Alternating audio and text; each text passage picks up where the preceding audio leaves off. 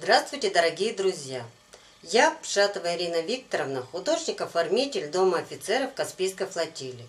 Предлагаю вашему вниманию видеосюжет «Святые лики Руси», посвященный Дню святых апостолов Петра и Павла.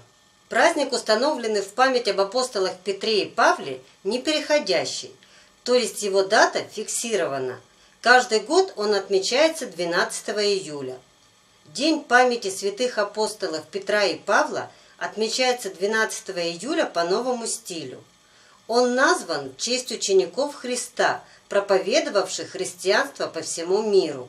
О событиях жизни Петра и Павла рассказывают деяния святых апостолов, послания апостола Павла, а также апокрифическая литература.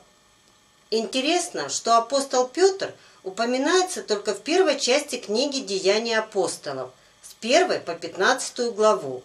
В следующих главах рассказывается о миссионерской деятельности апостола Павла, а упоминания о Петре в них совсем нет. Оба апостола приняли мученическую кончину в Риме при императоре Нероне. Общего мнения об их смерти у историков нет. Автор сборника «Житий святых» Четь Еменеи – Дмитрий Ростовский считает, что они были казнены либо в один день, либо с разницей ровно в один год.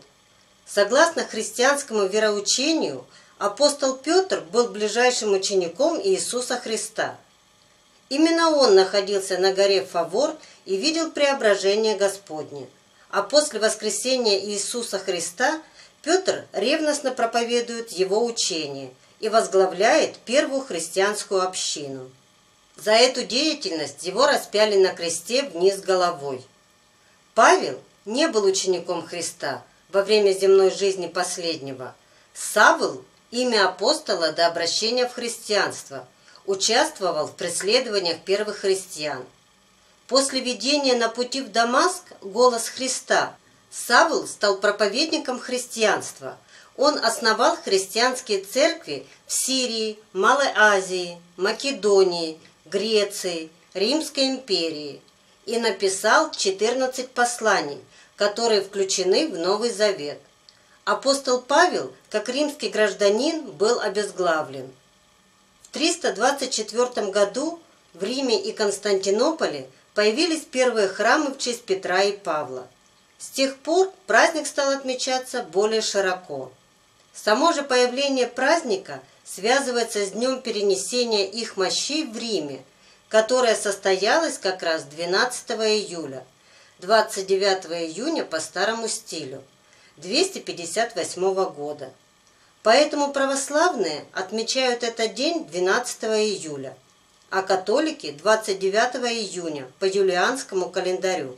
Дню Петра и Павла предшествует пост, который называется апостольский. 12 июля – День памяти апостолов. Уже праздничный, не постный день. Исключение, когда праздник выпадает на среду или пятницу. На Руси Петров день был календарной границей года. Начиналась подготовка к осени. Крестьяне после Петрова дня не заготавливали травы, заканчивали купальские празднования макушки лета. Начиналась подготовка к сенокосу.